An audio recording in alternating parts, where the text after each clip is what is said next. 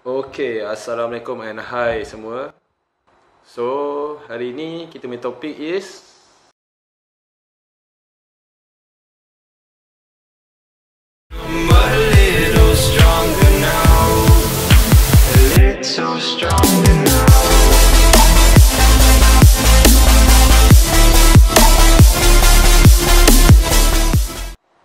Okay, pada mana yang tahu, dalam Malaysia ni kita ada satu tournament which we call National Community Basketball League.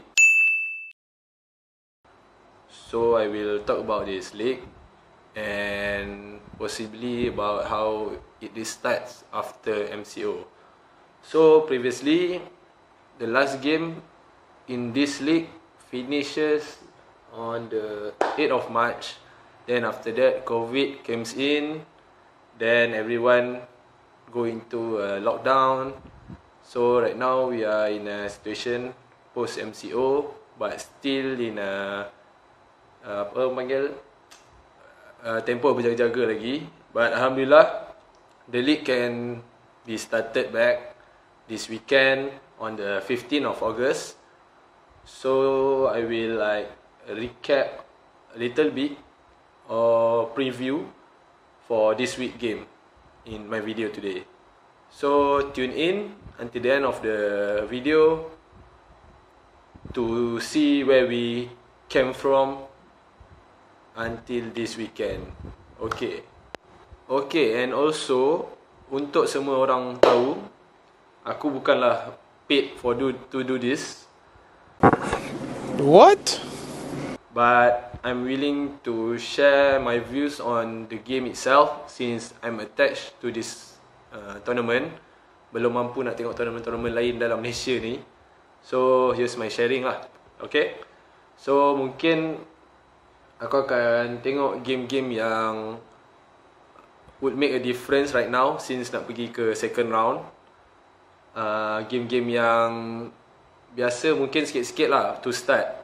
Tapi moving forward, I'll be have a focus more games and teams lah. Tapi insyaAllah, if benda ni kita boleh make it uh, stable and discipline, I try to make uh, mana yang mampu lah. Okay? So, here we start. Okay, first game 15 Ogos 2020 pukul 4.30 petang. UBSA lawan Gelap Kings. So based on standing, Bayang Gelap Kings sekarang ni nombor 2 dengan 3 kemenangan dan 1 kekalahan which is recently game sebelum ni. And UBSA 2 menang, 3 kalah. Which is game sebelum ni pun dia kalah dengan Hurricane. Bayang Gelap Kings kalah dengan Go Strong.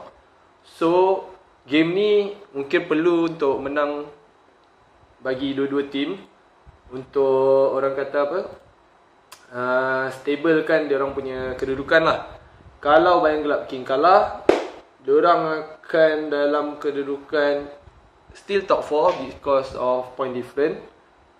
Tapi kalau UBC menang, dia orang hmm susah juga. Masih dalam top 6 lah sekarang ni. Okay? So untuk UBC of course dia akan push dia punya kemenangan. Eh sorry, dia akan push dia punya game untuk menang supaya dia boleh push ke top 4 ke untuk pergi ke second round.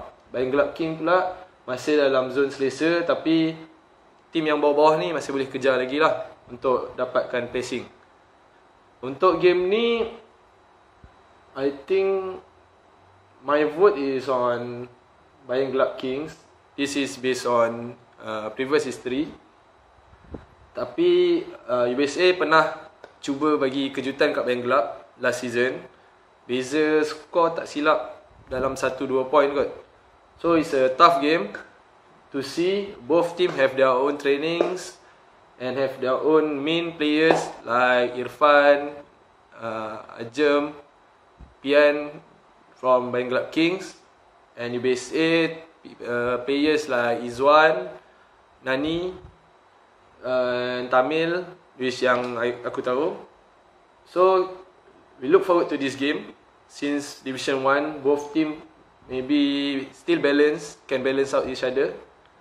So my vote my vote is on Bayang Gelap Kings but of course UBSA having a uh, usually run and gun game and also a 3 point game can make it hard for them lah.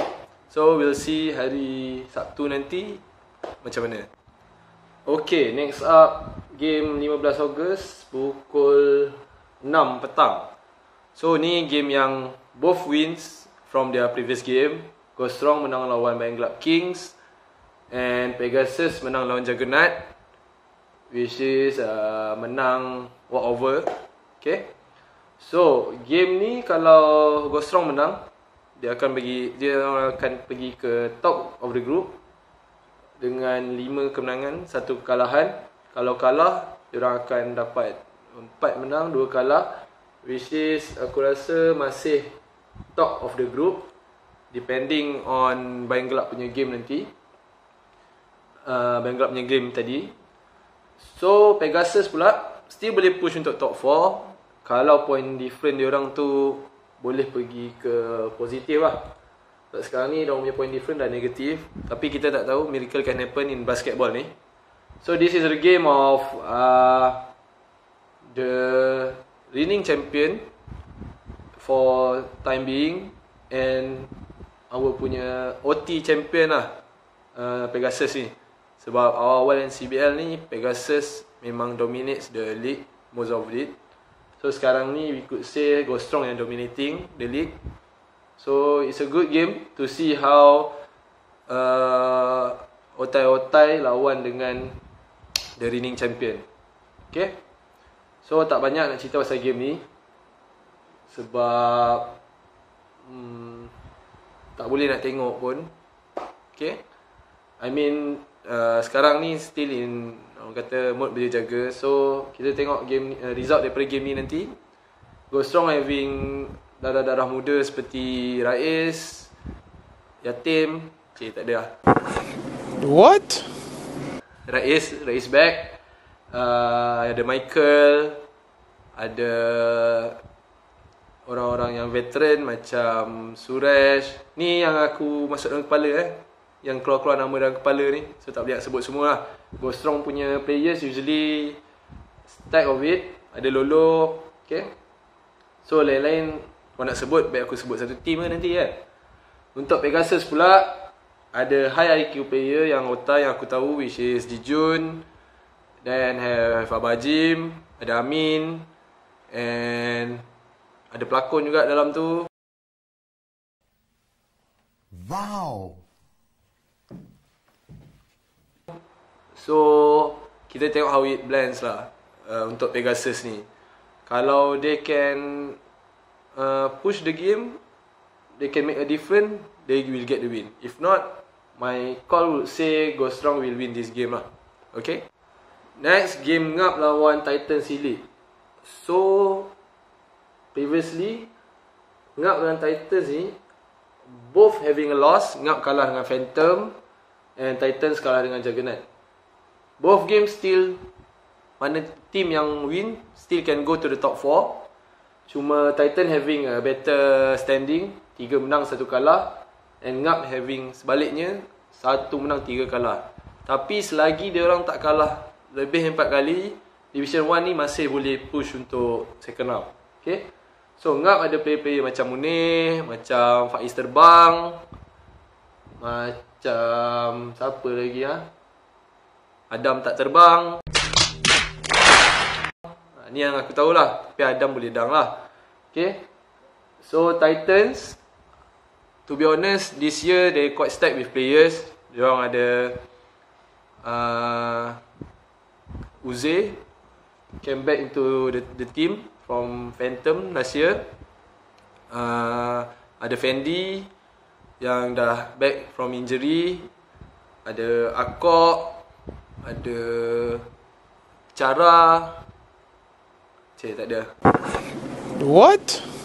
Akok tu nama orang eh So ada Megan Yang uh, Orang kata masih muda Yang masih strong in the game Cuma Previously dia orang punya kalah dengan Juggernaut tu Quite shocking So I think uh, This game dia orang akan push for To win it To Orang kata apa To challenge the title lah this year So hopefully they can find a ada uh, ada Panjir, ada Kamal, uh, tiba-tiba ternampak benda panjang, baru teringat dia orang. It's time to stop! Okay. So hopefully they can push it. It will would be a best game if they can go to the next round or paling best kalau boleh pergi final lah based on this team. So kita tengok macam mana. Hopefully my choice is on Titans to win. But Ngap have players yang experience. So diorang pun kenal sama sendiri. Kita tengoklah macam mana. So last untuk minggu ni Division 1 eh, pada pukul 9 suku 15 Ogos Game Hurricanes lawan Phantom Griffin. Both having wins. Tak tahulah dah macam Illuminati dah Ada yang Tim ni semua menang Tim ni dua-dua kalah Tim ni dua-dua kalah Tim ni dua-dua menang.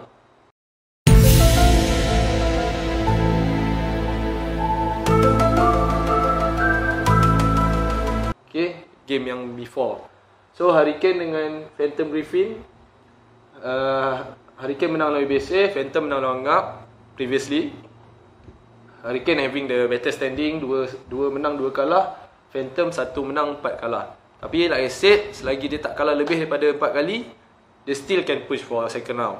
So Phantom Griffin ni kalau dia menang Dia still can push based on point different lah Untuk pergi ke second round eh Top 4 Game ni Hurricane ada new players, new lineups. Budak-budak muda. Tak silap ada orang kata ada adik Michael kot. Okay. Nama adik Michael Jordan. Know, everybody was just how they Tak. Aku pun tak tahu. So, tapi dia ada play-play muda lah Hurricane ni. Coach by Coach Wayne. Uh, Coach Wayne dia ada assistant dia. Nama Robin. Uh, dia tak ada. Tak ada, tak ada. Saja. It's time to stop! So Phantom Griffin ni Tim-tim yang I think coach by Izran Nedika uh, Satu coach berpengalaman Tapi players darah muda mostly.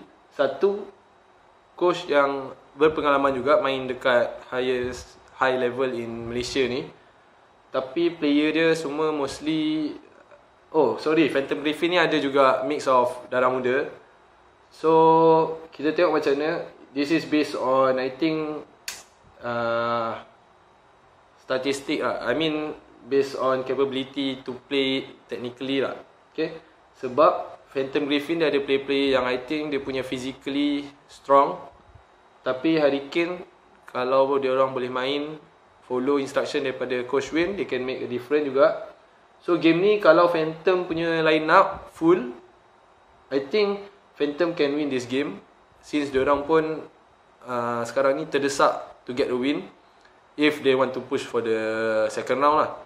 If not, Hurricane akan push this game early to win it lah. So my call 50-50 tapi basketball tak ada seri. So I want to see Phantom to win this game lah. Biar standing tu balance uh, still unpredictable for the next round. So lain-lain untuk Division 1 ni aku rasa still balance out, semua masih boleh push untuk second round. And kalau aku have the chances to record the game to make a live stream untuk korang, I will find a way lah. Okay? Sebab sekarang ni kita tak boleh nak pergi tengok game. Kira orang kata apa penonton pun limited to only players and managers. So kalau korang rasa nak tengok kita try to make a vote. Other than that click like comment and subscribe for me to produce a better video and content content next time. Sorry Terengganu content. Okay see you